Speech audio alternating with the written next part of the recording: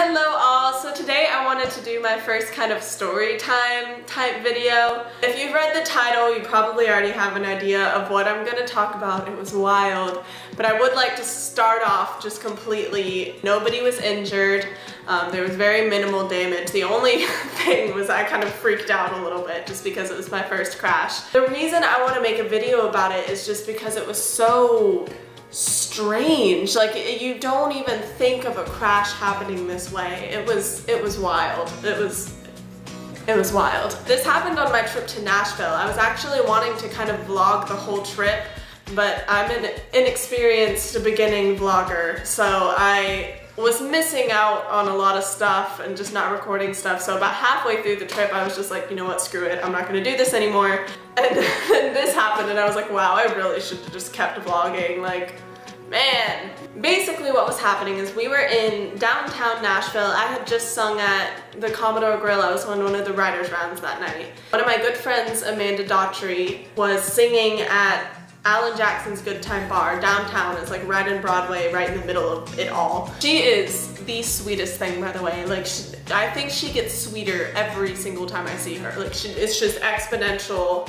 I don't even know how it's possible, but it's a thing. If you're in Nashville, she's always playing down there. Look her up and see where she's playing next. Like you, she's such a good performer as well, and you just, you need to go see her. She's the love of my life. So we went to go see her downtown.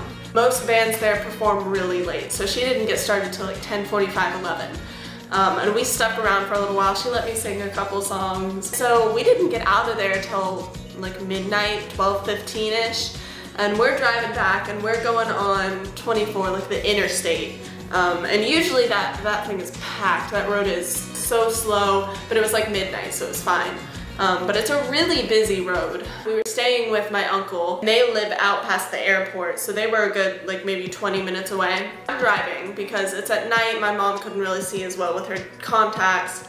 Um, and I'm fully licensed, it was fine, I wasn't breaking any rules. We kind of slowed down, I don't remember what was going through my mind when this happened. Maybe I was just so used to having to slow down behind people because Uh, not bashing Nashville, but y'all are kind of idiots when you drive. So we slowed down. I don't know what was going through my mind though, because it was midnight, like it didn't make sense. I was going on the exit to go to their house. There was a semi truck and then a couple cars and then us. And then I remember we had to move because I was shifting traffic for some reason.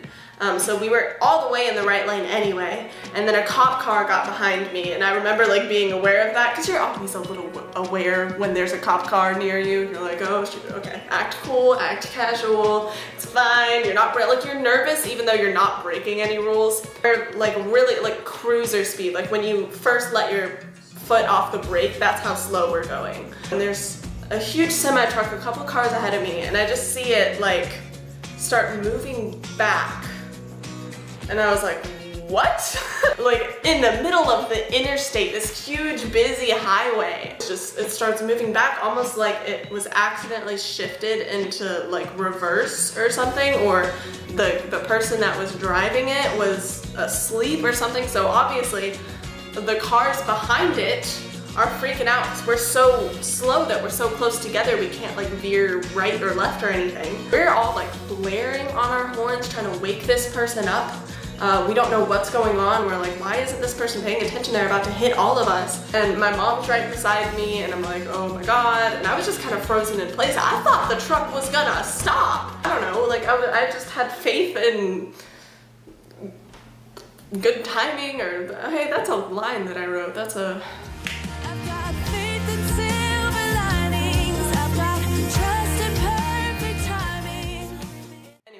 that's a digression. I was just kind of like frozen in place and I'm, I'm just like, oh, surely the truck is gonna stop. And it doesn't stop, it just keeps going and it hits the car behind it, which pushes that car into the car behind it, which pushes that car into us, and we get pushed into a cop car. So that was fun. The thing that was so scary about it is I could not do anything about it. There was absolutely nothing I could control about the situation. I I probably, if I thought a little fast, like a split second faster, I might have had to room to merge to the right on the shoulder, but it was so tight and all of us were so tight. It's not like I was just following the car too closely, like all of us were really tight. So I just kind of like hit my brakes and just went to a full stop, was blaring my horn to like warn the people behind me and stuff. I just kind of sat there and I waited. I was like, well, I just watched the car in front of me just slowly get closer to me and I was like, well, this is about to hit me and I can't do anything about this.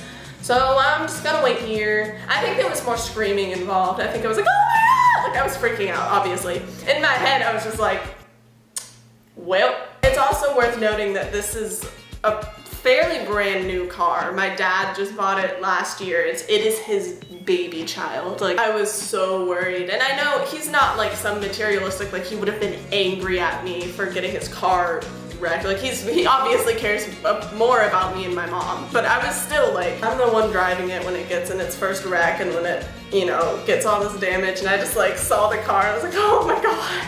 Yeah, so one of the good things is I think my mom was saying this while all of this was happening. Well, the cop car is right behind us. They saw all of it. They know that none of us are at fault. And only when we got everybody in this huge chain reaction got to a full stop did I start to see smoke coming out of that semi-truck's engine.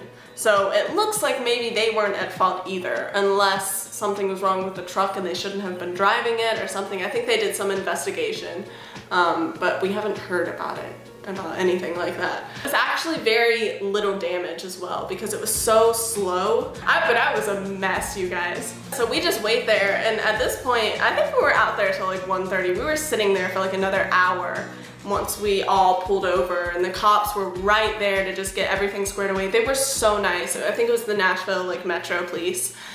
And like I said, they got a front row seat to everything so they knew that none of us were at fault. Such a busy highway and we were in such a slow wreck and it was so such minimal damage nobody was hurt it's another way that we were so lucky so yeah i mean it was definitely i kind of hit the jackpot as far as first car crashes go. It was still pretty spooky. It was also in the middle of the night. It was it was just wild. Like how many car crashes like that do you hear about? Like so after we talked to the police officer for a little bit, uh, he just let us go. He gave us the insurance information and, and we went on home got back about an hour later than we expected. But, and I actually had to get up early the next morning because I had a co-write. Oh, that's another thing that's really funny. I'd actually met with a writer that day that gave me some exercises to kind of like how he wanted me to kind of plan for this co-write. And, and a lot of it had to do with like keywords and stuff and free association.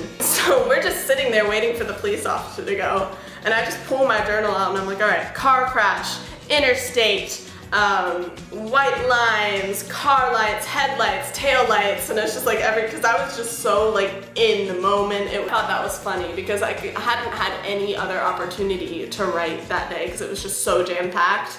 And so we're just sitting there doing nothing with my hazard lights on and we're just chilling, waiting for, for stuff to happen. And I'm just like, all right, well, I'm gonna write a song about this. yeah, it was, like I said, we were so lucky. I'm so lucky for this to have been my first crash experience because there was really no injury or, or significant damage involved. I just wanted to share that with you guys because, man, I really wish I had been vlogging that. that I know how the cops would have felt to just see someone just like with a bit of, okay, there's a cat. Bootsy. I don't know if you can hear him meow. But you know what? We're gonna take a field trip and go see Bootsy. Bootsy. Hello. What do you want? Huh? Oh. Bootsy's gonna help me with this little outro, right? So if you liked this video, make sure you show that down below and you can subscribe if you want. There's also a little bell button next to it that makes sure that you actually get notified when I post a new video since YouTube changed their little policy about that. If you would like to subscribe and do that, I would love you forever. I'm also on Facebook and Twitter and YouTube and Instagram, pretty much anything with a search bar. He's mad at me. He's I'm not giving him enough attention. Show your face. Thanks for watching.